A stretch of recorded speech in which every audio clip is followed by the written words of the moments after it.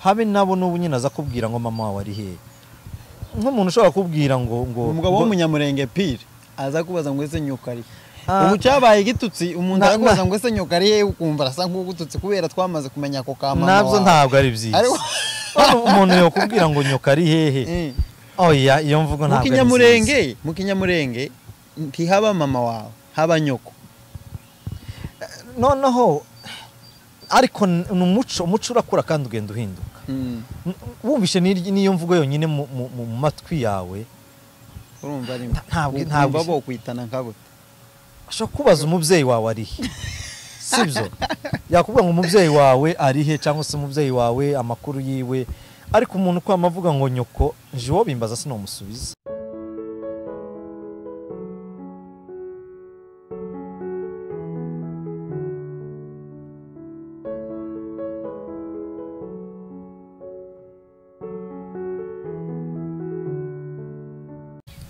Reka dutangire tubiyegereza kuri metos tv aho muherereye mwese mu nce zitandukanye z'isi ku migabane itandukanye tutabasha kuvuga mu mazina aka kanya ariko buri wese udukurikiye turamwegereje kugira ngo abashe kwegera kandi akurikirane ikiganiro.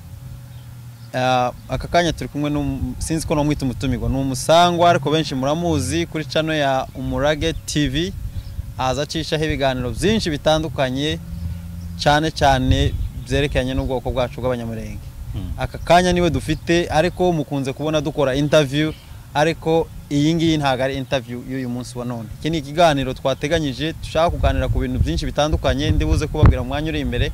Ariko mbere y'uko mbibabwira reka banza avuga ijambo rimwe cyangwa abiri. Ah, abashobora kuba bamuzi kuriya gusa ariko reka agire icyo atubwira. Hejuru yiwe nimara nze kubabwira icyo turi buze kuganira Mm, urakoze cyane. Andumviwe harya wivuze gute? Wibwiye abantu amazina yawe? Ubwira amazina. aha ni ho mpora baranzi okay amazina yawe ariko ninza gukoresha izina nsanzwe menyereye abantu wenda baze kwihangana. Mbe ndikunda gusa. Rya ezira. Eh, oya, iryo- ni paul ndumviwe cyangwa se metosi nk'uko benshi bari mu kubinyita nubwo- ritari izina ariko rimaze kuba izina. Urakoze cyane nk'uko wabibabwiye nitwa Oze Ruhumuriza tukaba duhuriye mu kiganiro kuri Metos TV aho tugiye kuganira ku ngingo agiye kutugezaho nubwo numvishe ah, wicishije abantu amatsiko. Ushobora kubabwira tugatangira tukaganira Ya, na natekereje cyangwa se twatekereje ko dushobora kuganira hejuru y'ibintu byinshi bitandukanye bigenda biba mu ngo zitandukanye abantu bakazisuzugura. Utuntu tumwe twita ko ari utuntu dutoya aba- abantu babona ko ari ibintu bidafatika ntibabihe agaciro cyangwa se ntibabikore nk'uko bikwiriye gukorwa bikaza kuzana ingaruka cyangwa se bikabyara umwuka mubi Mu ngo cyangwa se mu miryango. Ah, aba ari cyo ntekereza ko tuganira kuri bya bintu bitoya. Bitoya ndetse benshi na benshi bita ko bisuzuguritse. Cyangwa se badaheza umwanya ariko ugasanga wowe urabisuzuguye ariko mugenzi wawe ugasanga we arabikunda cyangwa se abiha agaciro. Mm. Ah, umufano ko hejuru y'izina. Guhamagara umugore mu izina ubu nyine ni ikintu ki- kiri kuri top. Umugabo umugabo uhamagaye umugore mu izina usigaye usanga ari intambara. Uko njye mbitekereza. Ugasanga umugore amerewe nabi ugasanga umugore ntiyishimye ngo umugabo yamuhama nubwo adashobora kubimubwira ariko arareyakita isura ikabyerekana ikerekana ukuntu amerewe nabi atishimiye ko umugabo yamuvuze mu izina ahubwo agakunda ko amwita twa tuzina tw'ikizungu. Sheri, wenda utarabijamo um, re- reka noneho tu- tubyinjiremo neza tu- tubisesengure. Ah, kubera iki umugabo avuga umugore mu izina? Kubera iki umugabo atagomba kuvuga umugore mu izina? Nk'ibyo bintu bibiri. Ndagira ni ho abantu bagonganira. Nk'uko wari ubivuze kuva na kera kuva na mbere hose twumvaga ababyeyi bacu yahamagaraga umugore mu izina. Ibyo bintu ni umuco. Muri njyewe ntekereza ko ari umuco. Sinzi ko nubyita umuco ariko ni byo twavutse dusanga.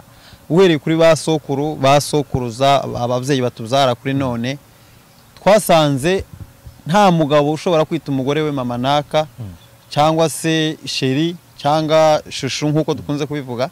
Ugasanga amuhamagara mu izina kandi ugasanga urugo rurakomeye. Ugasanga umugore ntacyo bimutwaye ugasanga ibintu byose biramuvinga. Ahubwo ndagira ngo n'abana n'abasore bamaze gukura ntabwo bashobora kuvuga ababyeyi bavugaga ababyeyi babo mu mazina. Hari uwo nigeze kumva ah, ku buryo ataba akihamagara ngo mama.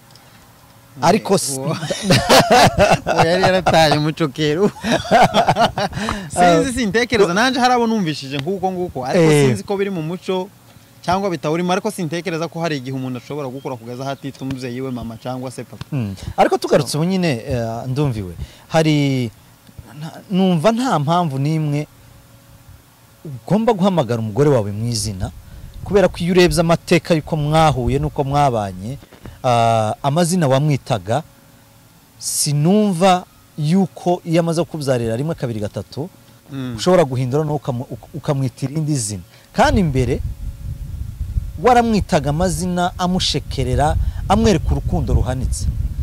Ariko umuntu akibaza ikibazo kubera iki noneho nyuma uhinduka? Ikiguhin- ikiguhindura ni iki? Ari nacyo gitera umugore kumva yuko hari impamvu yatumye uhindura uko wari umeze agatangira nawe ntago ntago uba wahindutse. Mm. iyo tujya gushaka iyo duhaha dutereta Mhm. ukoresha amagambo meza yose ushoboye kugira ngo uhawe utereta agire gute akwemere. Ariho bihera sheri switi ibiki. Ubu mubesha se? Oya ntubuhawe umubesha Mm. ariko u- u- ubuhawe urungamwo n'umunyu Mhm. hakaba n'ibyo bimwe udashoboye cyangwa utamenyereye ariko ukagerageza kubikora kugira ngo ugire gute wemegwe cyangwa se wa muntu wawe utereta yumve ko no no ni Mm. muri wa mwanya wo kuvuga wamara kumushyitsi muhira ubwa uka- ukaza umuvuga mu izina ni muri wa mwanya noneho kuvuga ngo imitoma ushobora ah, kumubwira ngo afite amaso nk'ay'inyana ah, kandi ufashe ayo maso y'inyana koko nk'uko bimeze uka- ukayamuha ntawo kwemera kuyatunga. Igituma bavuga ngo amaso y'inyana ndatekereza ko kubera ko ari inka inyana ni inka. Eh, inka ni ikintu gikomeye gifite agaciro mu bwoko nta bw'abanyarwanda amaso manini. Bivana ku maso manini. Eh, eh, kandi ni inka. Ntibashobora kumwita amaso y'ihene cyangwa intama cyangwa bino bindi agaciro. bigufi. Bivuze kubera ko ari, ari imitoma ari ukumushekerera ah, kumugusha neza. Ariko kandi ntekereze yuko rwa rukundo rwanyu rwa mbere rwakagombye kuba kugeza kurya musezerano tuzatandukanywa n'urupfu. Rwakagombye kugeza cage mutandukanye. Ariko se ugatekereza ko bishobora kugeraho umugore amererwa nabi bamuhamagaye mu izina? Ah, nk'uko ubizi muri rusange ah, abasore nibo bavuga ngo abagore ni combo kizayifu Mm. ashobora kumva umuturanyi we umugabo aza amuhamagara ngo mama runaka. Cyangwa aza amuhamagara sheri. Yewe nawe umugabo we ukaba wahamagara umuturanyi mama runaka. Ariko iwe utashobora kubimuhamagara icyo gihe urumva byumugwa neza. Ah, sintekereza ko byomugwa neza ubikoreye mu maso ye. Nta n'impamvu yo kubikora wihishe. Ariko atahari uka- umufano nkaza kugusura. Mm. ngasanga kurita umugore wawe mama naka muri cya gihe sinopfa kwama nshika ngo muhamagare mu izina. Mm. Ariko uwanje nsanzwe muhamagara mu izina sintekereza ko nokumva we wisi uwawe mama naka ngo nanjye mpindure ntangire nituwanje mama naka kandi ese ububi bwabyo buri he kuba wakwita um- umugore wawe nyina w'umwana wawe? Ubona ubu ari ubu? Sintekereza ko ari bibi sinzi ububi bwabyo ariko Ikigora umugabo ni iki? ndatekereza ko ari ibintu twa- twarahuye. Tudasangana Mm. tudahorana. So twakuze tuzi ko umugore umuhamagara mu izina rye. None ushatse kuvuga ko rero ari nk'umuco njyewe niko mbitekereza. Mm. noneho tumaze kugera imahanga dusanga mu mijyi imwe n'imwe twagiye ducamo dusanga ba nyiri igihugu cyangwa se ba nyir'ubutaka baza bita ntibazavuga abagore babo mu mazina. Natwe tugira gutya usanga tu- Ah, turabifasha mu buryo bw'ikizungu numva nta mpamvu n'imwe. Nta n'icyo bitwaye kumuvuga mu izina. Ah, n'uwo byoza gusenyera byomutera amakimbirane mu rugo n'ubundi ruba rutariho. nda ruba ruriho none se ubigereranya gute? Njyewe uko mbitekereza ubu nyine byarahindutse ubu nyine ko numva abagore ari bo bahamagara abagabo mu mazina. Icyo Eh. ngicyo turakivuga hiki Good. ugashika washika ukabwira umugore ati umugabo ari he? Oya ibyangombwa. ukinjira mu nzu. Mm. ukabaza ati umugabo wawe ari hehe Mm. Ah, wenda umugabo ari upstairs cyangwa mu cyumba. Ukumva niba yitwa Alex ukumva umugore Alex Alex hano hari umushyitsi ugushaka. Urumva? Mm. Aho ngaho ariko umugabo we yaza yaje kumuhamagara kumva ngo mama nakama sheri aho ngaho haba harimo haba habayemo kurengera ubundi umudamu nk'uko tubizi ah, umugabo ni umutware w'urugo. Kumuhamagara mu izina jewe maze imyaka umunani n'umugore wanje sindumva ampamagara mu izina. Mm. Eh, ashobora kumpamagara mu izina rikuru rya muhasha kuko ndi muhasha nawe akaba nyihasha ariko sindumva mpamagara mu izina.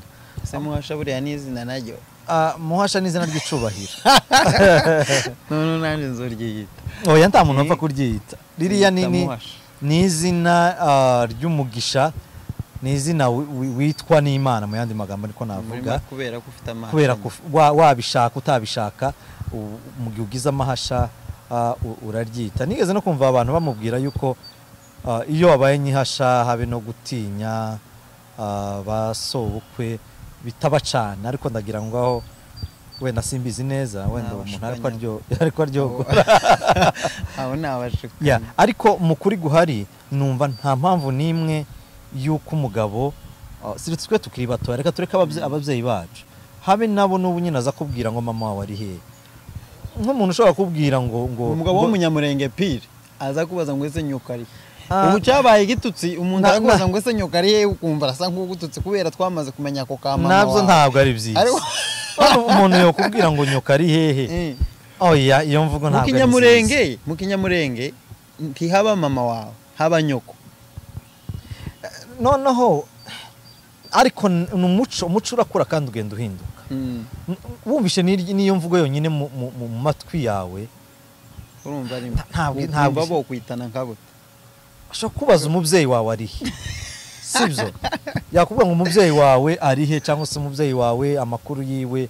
Ariko umuntu uko avuga ngo nyoko je uwo bimbaza sinamusubiza. Eh eh. Eh. oya ni ikinyamuri ah, nanje ubu nyine nsigaye numva ari bibi. Mm. nsigaye numva bibangamye kubera nyine ko numvishije ibindi bi- bihengamutse. Mm, ariko umugabo yarazaga akakubaza ngo ese nyoko ari he? Nyoko yagiye he? Na papa wawe ubwawe? Mm. akakubaza nyoko ari he? Ni uko niko bazababaza. Ikindi ikindi hari ikintu mu mu muco wacu tubwira nyine cyo guha umugore agaciro gake no kumusuzugura. Umugore agomba kubahwa kuri ubu ngubu. Kuko umugore ni uw'agaciro umugore abyara umuntu umugore ni nyina wa buri wese. Ah, agomba kubahwa. Muri iki gihe abasore bahaye bashaka wenda sinzi nimba byaraje igihe cyawe uje gushaka byo gutera ivi. Nje byaje na- na- na- narashatse. Nimba umusore agenda agatera ivi aba agaragaje guca bugufi kudasanzwe imbere y'umu- y'umuntu bagiye gushaka akamusaba ko agomba kumushaka. Kubera iki? Iyo mushitse mu rugo wumva noneho ushobora kumukorera amakosa ah, hari n'ibindi ah, n'ejo twari ko tuganiraho ugasanga na karisita unanirwa kuyimutwaza. Umugore biriya ibi bintu byo gutera ivi kwanza. Wowe wemezanya na byo.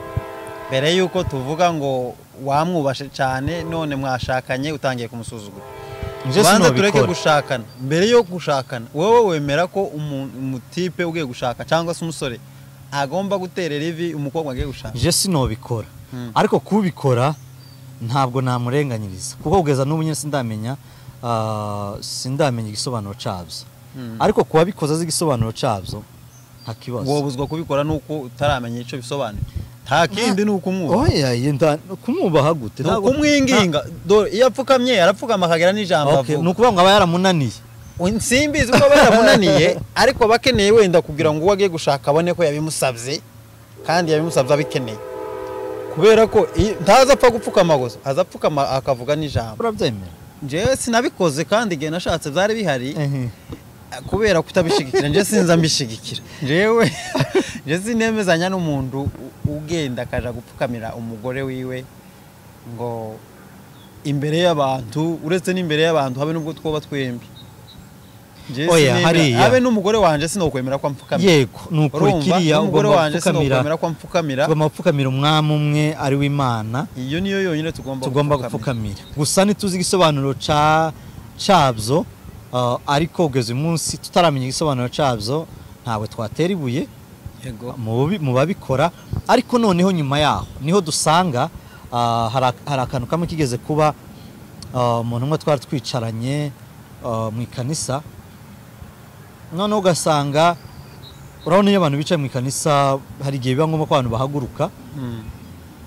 ufite umwana muto w'uruhinja ntabwo umugore yofata umwana ngo amucigatire muhaye muhimbaza mu ikanisa ni bwo yanabikora uwo mwakira. Cyangwa umwana hari igihe akuzaho. Noneho umuntu iwe ntabwo yakeneraga gufata umwana we. Ariko yaba yicaranye n'indi kapo umugore ufite umwana akaba yamwakira umugore w'uwundi mugabo. W'undi mugabo.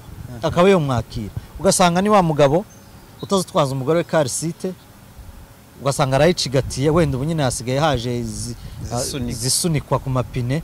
ariko ya yindi yo gucigatira gutya. Umwana ufite amapawundi ah, icumi kuvuga ngo umugore ah, amuterure nk'aba muri sinama ugasanga abantu benshi ntibabikora. Ugasanga uwo muntu yaramu- yaramupfukamiye yamutereye ivi. Ariko ntashobora kumufasha akantu nk'ako ngako gatoya maze kukubwira. Njyewe si sinshobora ku- kushigikira ko umugabo afasha umugore umwana nk'aho hantu uba uvuze wenda ku rusengero cyangwa ahandi hantu muri event runaka ariko kandi hari ibyo nshigikira.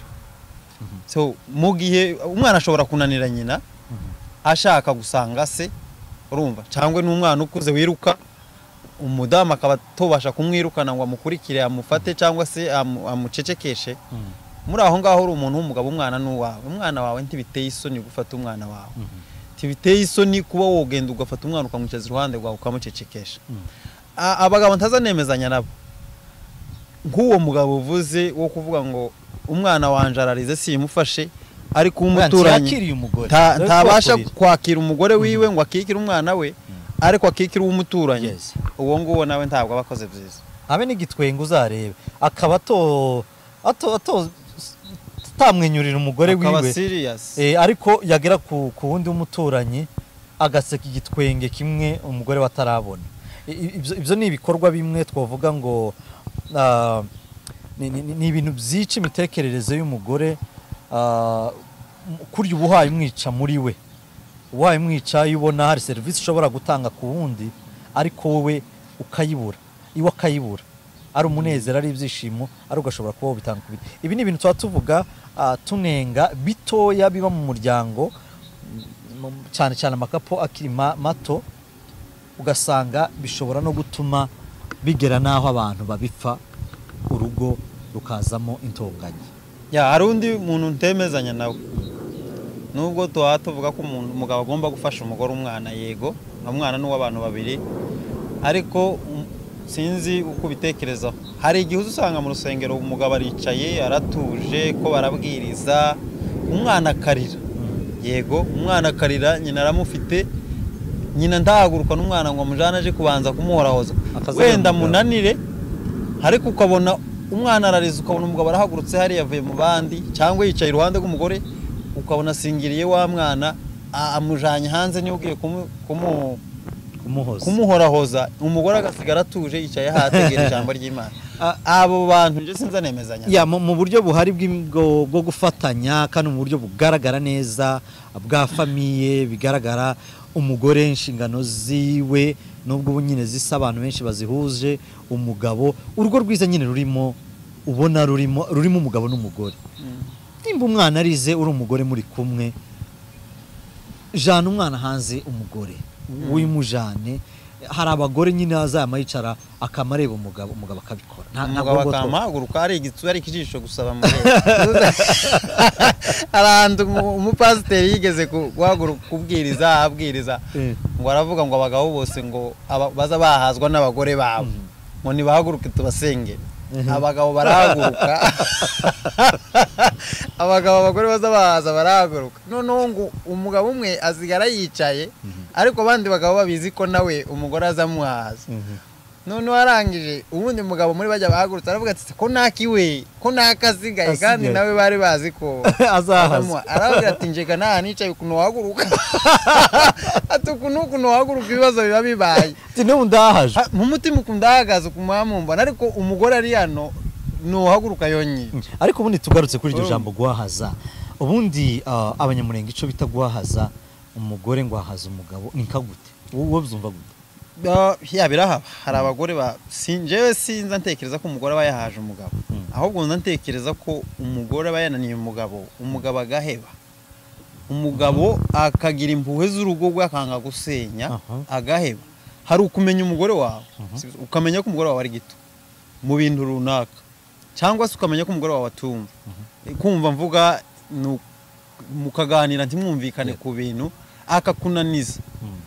Akaza Kuri kuri gahunda cyangwa amabwiriza Eh. yanyu muhuriyeho muri cya gihe umugabo we ufite ubwenge nje ntekereza ndetse ko aba yagize n'ubwenge aba ari n'umunyabwenge agatekereza hejuru y'urugo rwe akavuga ngo sinsenya aho kugira ngo asenye agaheba yamara guheba rero twebwe abandi twabona umugore ni we dirija ni we uzi uvuga ibintu ni we uzi tukavuga ngo uriya mugabo umugore yaramuhahaje Mm. nyamara wenda umugabo yarahebye aravuga ngo aho kugira ngo nsenye aho kugira ngo nkubite umugore aho kugira ngo ndwane mbohwe cyangwa kugira ngo nirukane umugore nsebe cyangwa ntere abana reka mpebe ncece nje Kono. niko nza mbitekereza. Hari umugabo umwe wageze ino aravuga ngo arebye yumvishe n'amakuru y'iki gihugu uko bimeze ukuntu abazungu babanye. Arareba aravuga ati asanze. Umugabo wese ukibanye n'umugore. Uwo mugabo arahajwe. Utara utarahajwe ni uwatandukanye nawe ubu yanze ati uwo mugabo yaze guhaza ati ariko abandi bose ati bazoceceke barahajwe aravuga ati aba bagabo bose ba- bande bose mubona basazanye n'abagore babo nuko bemeye guhahazwa ariko ah, nje mbona icyo twita guhahaza no guhahazwa ni ubwumvikane bwawe n'umugore babona mwumvikanye n'umugore wawe mujana musangira muhuza muri byose. Bikitwa yuko ah, yagwahaje uzarebe tuvuge wenda nk'ikintu ni- n'ifaranga Mm. tuvuge ah, mufite famiye cyangwa hari bibaye ngombwa ko hari ahantu mwitanga ifaranga. Noneho avuze ati okay tuzabanza tuvugane n'iwacu mbere yo gutanga izo faranga tuzabanza tuvugane n'iwacu icyo gihe mu muco wacu bahita babyita yuko wahahajwe. Ubuze ako kantu nibuka hari umusaza nawe mu ikanisa baranezerewe. Mhm. Sibyo? urabona hari ukunezerwa ugakoreshwa na santima. Umugabo akaba yicaye hariya iwacu ntitubaza bicarana nk'uku kwa hano ngo ubone umugabo n'umugore baricaranye. Umwe aba yicaye uko?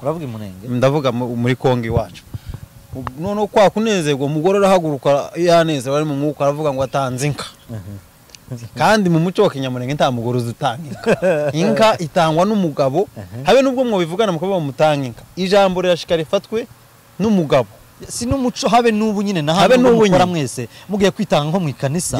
Of course umugabo nimba mwongoreranye mukavuga ati dutange ikingana gutya. Of course umugabo ni we ugomba kugitanga. Ya noneho uwo mugore we ahita ahaguruka aravuga ati njyewe ntanze inka. Noneho abantu bavuze induru bakomye amashyi bishimira gutanga. Umugabo we nk'ahari arahaguruka aravuga ati semi aravuze ngo atanze iki? Baramubwira ngo inka. Abwira ba bandika ngo mwandike inkwi. Inkwi inkwi ziraza gukomeza. Ati karatanga inka hariya agira nimwandike inkwi ariko ibyo ngibyo nyine iwacu twita ubwo kumvikana n'umuntu tukabyita guhahaza reka tubwire abantu badukurikiye yuko ntabwo ariko kuri. Ntabwo ariko kuri kandi dusabe imiryango. Ni byiza yuko imiryango igomba kumvikana ah, igahuza mu gufata ibyemezo bimwe na bimwe. Mu buryo ubwo ari bwo bwose bagomba kuganira ndatekereza ko nta kibazo gishobora gutuma umugabo n'umugore bananiranwa. Mu gihe bombi babashije gutuza bakicara bakakiganiraho bagatekereza. Ya bakakiganira bagatekereza. Kandi utwo tuntu dutoya ngo umugore ngo ntiya ngo umugabo ntiyakuvuze mu izina ntabwo zagombye kuba impamvu yo kuba mutandukana njya kubera ko sintekereza ko hari umugabo uvuga umugore mu izina iminsi yose. Kameme ashobora kuvuga mu izina none ejo akakwita mama naka ejo bundi akakwita sheri n'utuntu kuba dushika rumwe na rumwe. Habe n'ubwo tubabikwita sintekereza ko icyo ari ikintu gishobora gutandukanya ingo yego. Hari n'ikindi cyo kwitaba amatelefone menshi. Ukabona umugabo nimba yitabye telefone umugore amuriho. Hmm. kumubaza ngo witabye nde wagize gute? Ah, n'iki kintu na cyo ntabwo ari cyiza no gusaba abantu bakagira kwizerana. Oya jewe icyo hari ukwitaba telefone yego. Mm. ariko kandi sinemezanya n'umugabo utindana kuri telefone. Utinda kuri telefone ari kumwe n'umugore wiwe. Hari umwanya sibyo wicaranye n'umugore wawe. Ayo ni amakosa abantu wicaranye n'umugore wawe aba akeneye atansiyo yawe aba akeneye kumwitaho aba akeneye ko kameme musharinga aba afite ibyo muganira. Umugabo kugira ngo ufate telefone uyijeho uyigire iminota mirongo itatu uyigireho isaha. Umugore ari aho ngaho mu maso yawe yicaye habe n'umugore n'umwana wawe. Kugira ngo ugiye kuri telefone umwanya uresha gutyo. Njye sinza nemezanya na biriya bintu. Ariko kwitaba telefone rimwe tukavugana bimeze gutya bimeze gutya ibyo ni sava uko bimeze mu ngo nyinshi ubu nyine ibintu by'amatelefone usigaye unabibona mukicara muri mu nzu muri batanu batandatu mwese mwunamye nta n'umwe uhayivugisha undi. Yeah. Iyo ni indwara navuga ngo iri mu bantu benshi. Ariko kandi ah, abantu bizerane no ku matelefone. Wizere umuntu wawe kereka niba umuntu wawe umuzi nk'umunyangiso. Ariko ndatekereza ko ariyo mpamvu. So sinzi ko umugore wawe yoba akwizeye nta kintu agukekaho. Mm. ngo namara gukeke kuri telefone. Haba hari ukundi kuntu akuzi? Ahubwo abantu bareka ingeso. Ni-